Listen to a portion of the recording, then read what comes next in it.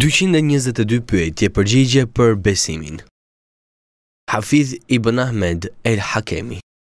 Pyetja shtatëdhjetë e një. Ç'do të thotë fjala e Profetit, paqja dhe bekimi i Allahut qofshin mbi të, për emrat edhe cilësitë e Allahut? Kush i di ato, emrat edhe cilësitë, ka hyrë në Xhenet. Përgjigje. Një nga komentimet që i është bërë këtij hadithi është, kush i mëson përmendësh emrat edhe cilësitë e Allahut dhe e madhëron Allahun duke i përmendur emrat edhe cilësitë e tij, ka hyrë në xhenet. Një koment tjetër është edhe robi të mundohet të ketë cilësi që mund t'i marrë si shembull nga cilësitë e Allahut. Për shembull, Allahu është i gjithëmëshirshmi, mëshirëploti. Robi të mundohet të jetë i mëshirshëm me të tjerët.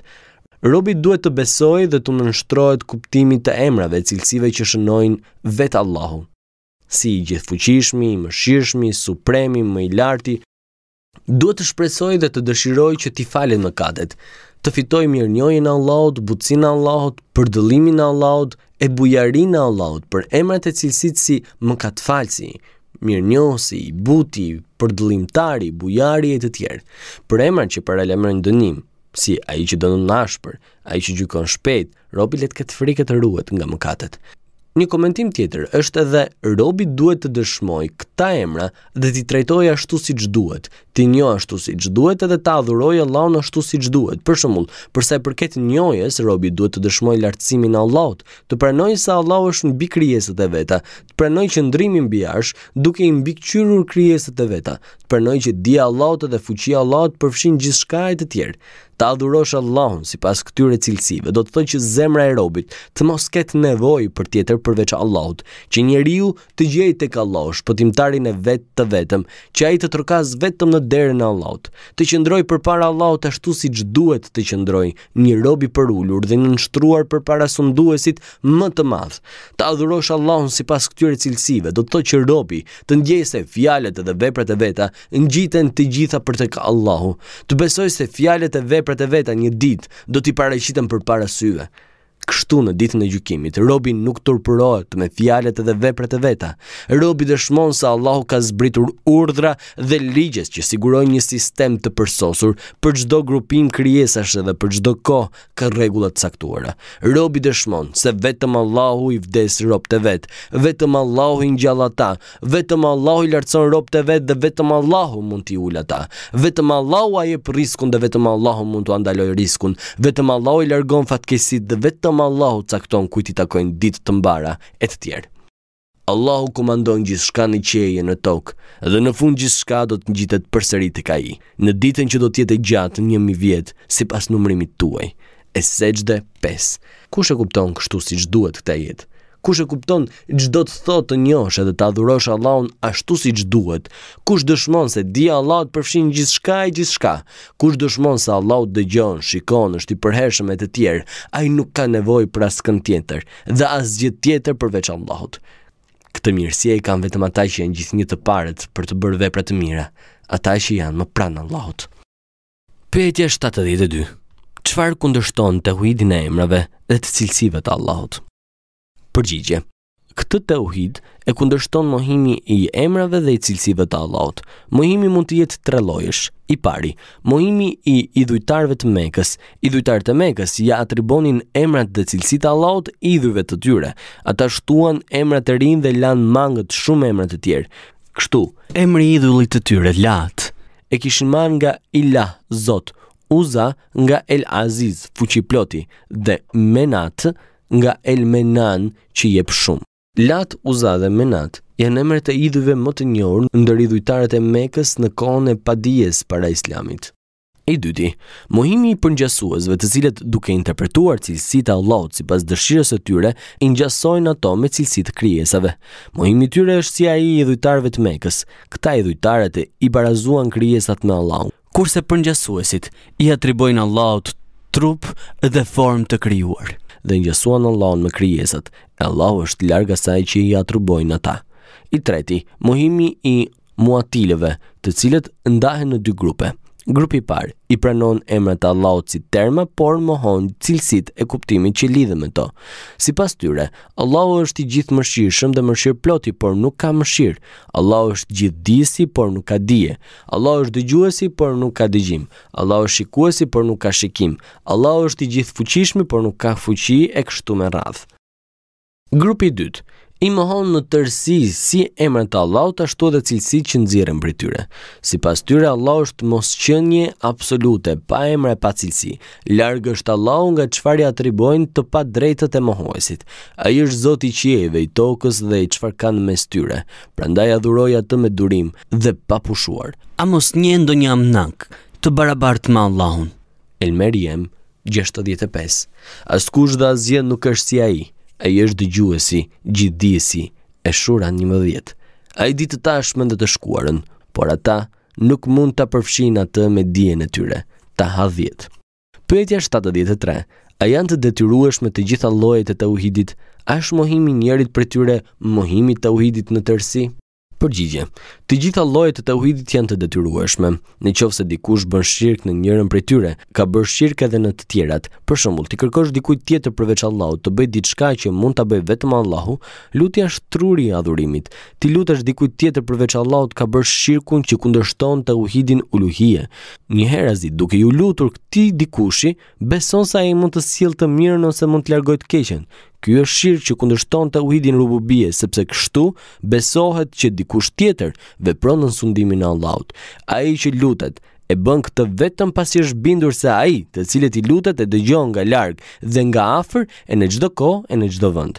Ky është shirku që kundërshton tauhidin e emrave të cilësive të Allahut, sepse në këtë rast pohohet se i luturi përveç Allahut dëgjon gjithçka pa u penguar nga vendi dhe nga largësia e atij që lutet. Kështu, kundërshtohet teuhidi uluhije, teuhidi rububije, teuhidi i emrave dhe cilësive të Allahut.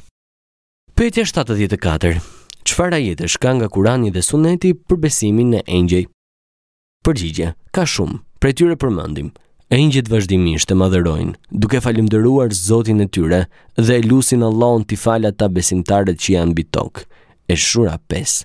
Dhe vërtet ata që janë pranë Zotit tënd, nuk e lënë adhurimin e Tij, Allahut për mendjemadhësi, ata e madhërojnë atë Allahun dhe vetëm Atij i bëjnë sexhde. El-Araf, dyqind e gjashtë. Dhe në qoftë se dikush është armik i Allahut, i engjëjve të Tij, i të dërguarve të Tij, i Xhibrilit dhe i Mikailit, le të dijë se Allahu është armik i jobesimtarëve. El-Bekare, nëntëdhjetë e tetë. Besimin në engjëjt e kemi përmendur edhe në hadithin e Xhebrailit, Në një hadith të përcjellë nga Muslimi thuhet, vërtet Allahu i ka krijuar ata prej drite. Hadithet e përcjellë për engjëjt janë të shumtë. Pyetja 75. Ç'do të thotë besosh në engjëjt? Përgjigje.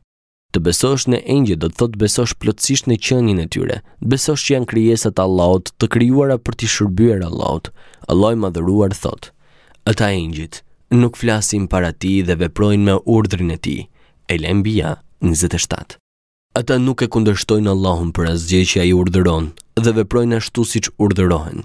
Et-Teherim, 6. Ata nuk shprehin mendjemadhësi kur e adhurojnë Atë e as nuk u duket adhurimi i mërzitshëm.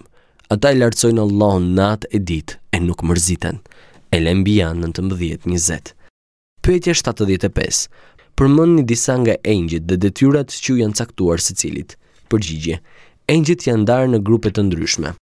në varësi të qëllimit të krijimit dhe të detyrës që u është ngarkuar, mund të përmendim Xhebrailin, ose Xhibrilin, engjëllin që sjell zbulesën tek të dërguarit, Mikailin, engjëllin që sjell shiun, Israfilin, engjëllin që do t'i fryjë surit, bririt, engjëlli që merr shpirtrat, engjëlli i vdekjes dhe ndihmësit e tij, Kiramu Katibinët, engjëj që shkruajnë veprat e njerëzve, El Muakabatin, engjëj që ruajnë njerëzit, Riduani, engjëlli që kujdeset për xhenetin, të mirat e tij dhe ndihmësit e tij.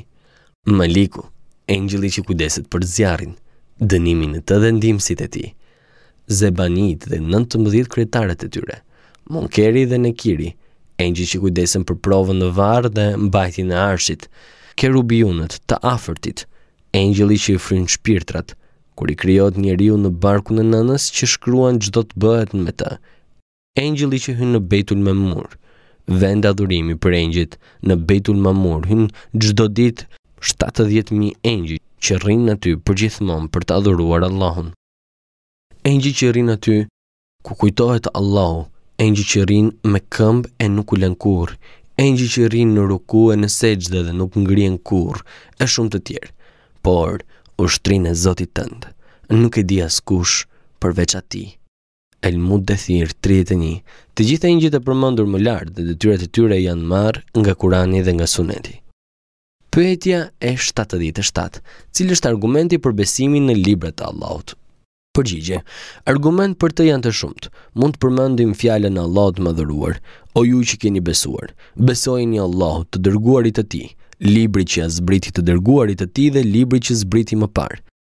En Nisa 136 Dhe ne i besuam Allahut, asaj që na zbriti ne, asaj që i zbriti Ibrahimit, Ismailit, Ishakut, Jakubit dhe pasardhësve të tij, dhe asaj që i është dhënë Musait, Isait dhe asaj që u është dhënë nga Zoti i tyre pejgamberëve, ne nuk bëjmë dallim në asnjërin prej tyre. El Bekare 136. Thuaj, kam besuar në librat që ka zbritur Allahu. Esh Shura 15. Pyetje shtatëdhjetë e tetë, A janë përmendur të gjithë librat në Kur'an? Përgjigje, Allahu i Madhëruar ka përmendur në Kur'an Teuratin, Ungjillin, Zeburin dhe fletushkat e Ibrahimit dhe Musait. Për librat e tjerë, Allahu i Madhëruar thotë, Allahu është Një, nuk ka Zot tjetër përveç Atij. Ai është Mbikëqyrës i Përhershëm dhe i Përjetshëm. Ai të zbret ty, o Muhamed, librin me argumente që është vërtetues i librave të mëparshëm. Ai e zbriti më parë Tauratin dhe Ungjillin, Ali Imran 2-4, dhe Dautit i dhamë Zeburin, En-Nisa 163. Dhe a nuk është lajmëruar për atë që është në fletushkat e Musait dhe të Ibrahimit, En-Nexhm 36-37. Dhe ne i çuam të dërguarit tanë me fakte të qarta dhe ne i zbritëm me ata librin dhe drejtësinë që njerëzit t'i përmbahen së drejtës. El Hadid 25. Librat të cilëve Allahu ua ka përmendur emrat, e kemi për detyrë t'i besojmë sipas emrave, kurse librat për të cilët Allahu i ka folur pa ua përmendur emrat, e kemi për detyrë t'i besojmë në përgjithësi. Themi ashtu siç e urdhëroi Allahu të dërguarin e Tij të thotë, thuaj, kam besuar në librat që i ka zbritur Allahu. Esh-Shura 15.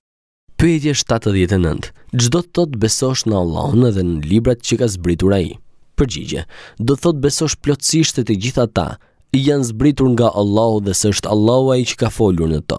Disa prej librave janë zbritur pa engjëllin e dërguar nga Allahu, me fjalën e drejtpërdrejtë të Allahut. Pas një perdjeje, disa prej tyre janë zbritur me anë të engjëllit, të dërguar nga Allahu.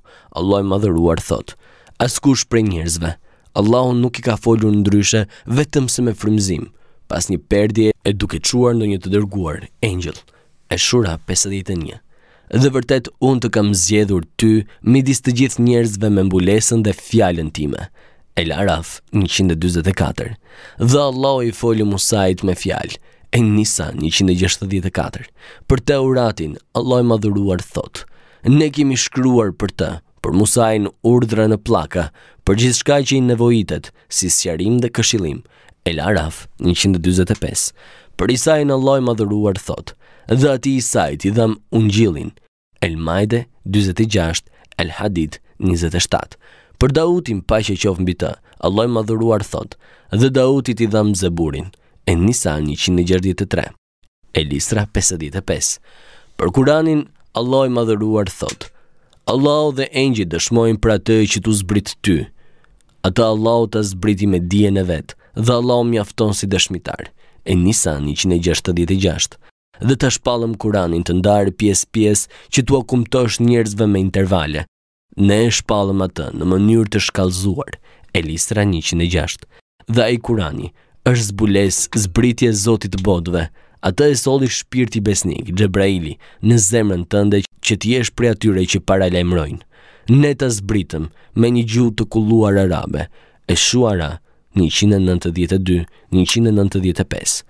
Ata që mohuan Kuranin kur u erdhi, janë të marrë. Ai është libër ngadhënjyes. Atij nuk mund t'i vishet e pavërteta nga asnjë anë, ai është zbritur prej të urtit, prej atij që e meriton falënderimin. Fusilet dyzet e një dyzet e dy. Pyetje tetëdhjetë. Ç'vend ka Kurani në krahasim me librat e tjerë? Përgjigje, Allahu i Madhëruar thotë, Ne të zbritëm ty, o Muhamed, librin Kuranin që është vërtetues i librave të mëparshëm dhe garantuesi i tyre. El-Maide, dyzet e tetë. Dhe ky Kur'an nuk është i tillë që mund të hartohet nga dikush tjetër përveç Allahut, përkundrazi, Kur'ani është vërtetësimi i asaj, zbulesës që ishte më parë, e sqarues e komentues i librit, për të cilin nuk ka dyshim se është nga Zoti i botëve. Junus, tridhjetë e shtatë. Ai Kurani nuk është një legjendë e shpikur, por një vërtetësues i atyre që janë shpallur përpara tij dhe sqarim i hollësishëm për gjithçka. Është udhërrëfyes dhe mëshirë për ata që besojnë. Jusuf, njëqind e njëmbëdhjetë. Komentuesit e Kuranit kanë thënë se Kurani dëshmon për librat e mëparshëm dhe vërteton pjesët e vërteta që kanë mbetur në ta. Ai mohon ndryshimin e bërë në librat e mëparshëm.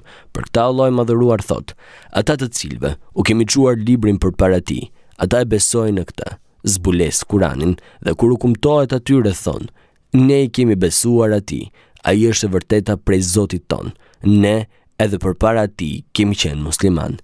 El-Kasas 52-53